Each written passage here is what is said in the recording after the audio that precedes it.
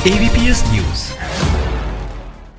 PM Modi ने statue of unity पहुंचकर सरदार पटेल को दी श्रद्धांजलि। राष्ट्रीय एकता परेड में हुए शामिल। पूर्व प्रधानमंत्री इंदिरा गांधी की पुण्यतिथि पर राहुल और प्रियंका ने अर्पित की श्रद्धांजलि।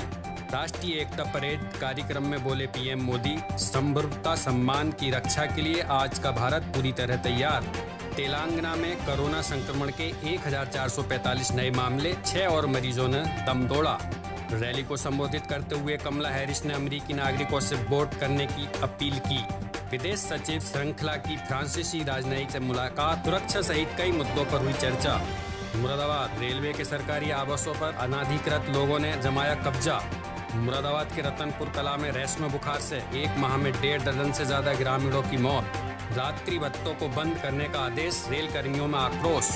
मुरादाबाद बागवाड़ा थाने के पीछे आईपीएल पर सट्टा लगाने का गोरख धंधा पकड़ा गया है। मुरादाबाद, चौकी शिफ्ट होते ही पुलिस ने फेरा कॉलोनी से मुँह, चोरों ने खंगाले सिपाहियों के भी मकान।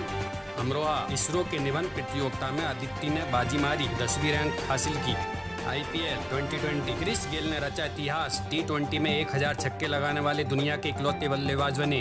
डिप्टी सीएम पहुँचे अमरोहा। उप मुख्यमंत्री ने कहा 60 साल तक देश पर राज करने वाले 6 साल वाले मोदी पर सवाल खड़े कर रहे हैं। अलीगढ़ में साठ सर्किट से गत्ता फैक्ट्री में लगी आग, लाखों का नुकसान।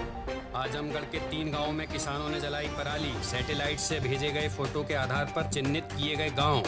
सहारनपुर में पटाखा फैक्ट्री में लगी भयंकर आग, दस मजदूर झुलसे तीन की हालत गंभीर। सैफनी, नदीम अंसारी ने महिला को रक्तदान कर पेश किए इंसानियत की मिसाल।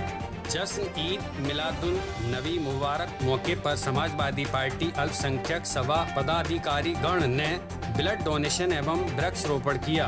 संगीता तलवार, भाजपा से महिला मोर्चा उपाध्यक्ष व बलवान चौटाला, पूर्व सरपंच हरियाणा, बड़ौदा में हो रहे उपचुनाव में प्रत्याशी योगेश्वर दत्त पहलवान का जी जान से प्रचार में लगे हैं। बधाई प्रधानमंत्री जन कल्याण प्रचार प्रसार योजना के तहत निधि सखी सहायता समूह में महिलाओं को रोज़गार देने हेतु कार्य किया गया।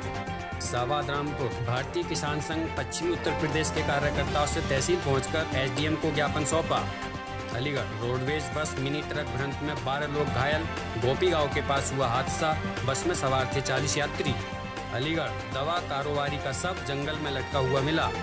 अलीगढ़ लोदा पुलिस ने खैरिश धाम चौराहे पर चेकिंग के दौरान ट्रक से करीब 60 लाख रुपए का गांजा जब्त किया।